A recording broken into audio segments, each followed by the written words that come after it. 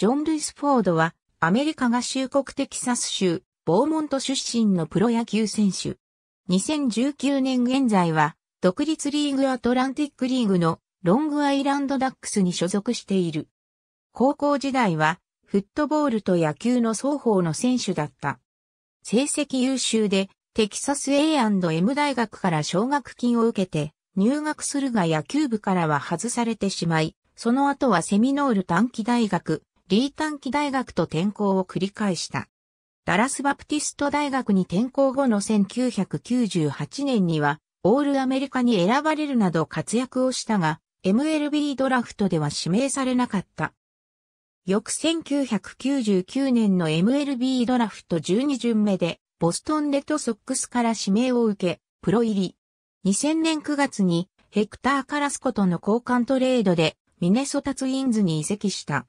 2003年5月29日の対シアトルマリナーズ戦でメジャーデビュー。初打席で長谷川茂俊からウゼンアンダを打った。2004年は指名打者と外野の3ポジションで154試合に出場し、規定打席に到達。打率299、出塁率381を記録した。2005年も規定打席に達したが、前年より成績が著しく低下。2006年はシャノン・スチュワートの怪我でチャンスを得たが、外野手に転向したマイケル・カダヤーの台頭や、副射筋を痛めて故障者リスト入りするなどチャンスを活かせなかった。2007年はリハビリテーションのため開幕を 3A で迎え、5月に復帰した後も調子は上がらず8月には再び3、永久に降格するなど結果を残せなかった。阪神時代2007年12月14日、阪神タイガースが獲得を発表。選球眼が良く、確実性のある中距離打者という評価だった。2008年の春季キャンプは故障で出遅れたが、オープン戦後半で好調を維持し、右の大砲として期待された。3月28日、横浜ベイスターズとの開幕戦で7番、右翼手としてデビューを果たした。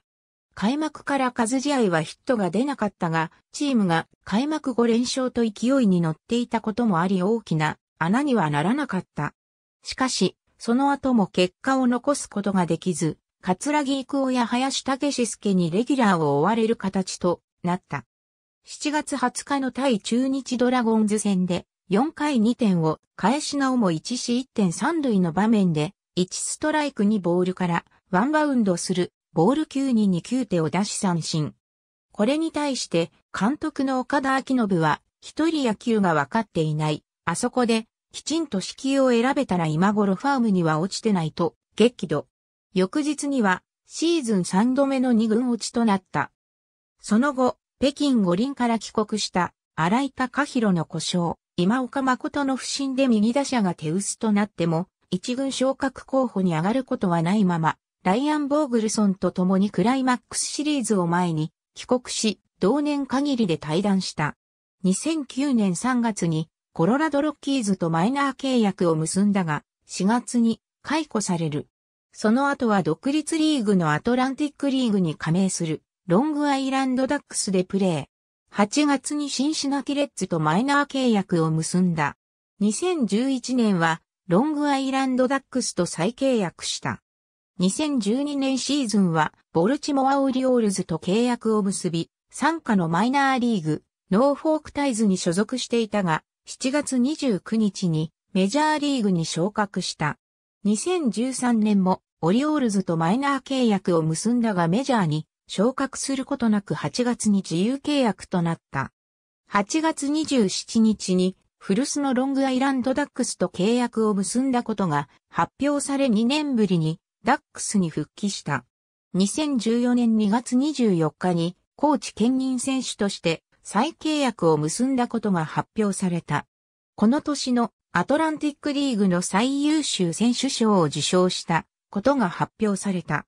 2015年2月2日に、コーチ兼任選手として再契約を結んだことが発表された。7月10日にメキシカンリーグのティファナブルズと契約。9月11日にダックスと再契約を結ぶ。オフはベネズエラのウィンターリーグでプレー。2016年3月16日にダックスと再契約。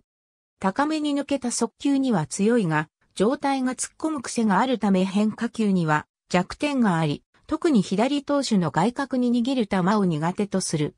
引っ張りを意識している時には内角を裁くのはうまい。走塁技術は平均より上である。守備も平均よりやや上であるが、打撃不振時には守備にも影響が出ることがある。ツインズ時代はスライディングキャッチやヘッドスライディングなどの果敢なプレーから、スタンドからルーコールが起こる人気者だった。積極的なプレーの反面、ロッカールームではパソコンを操作し、チームメイトのノートパソコンを修理したりもし、大学入学の際に受けたサットでは、合計1400点、特に数学では800点満点中750点を取るなど、知性も兼ね備える一面もある。また、シャツを着たままアイロンをかけようとするなど、言っちゃってる天才と揶揄されることもあった。ありがとうございます。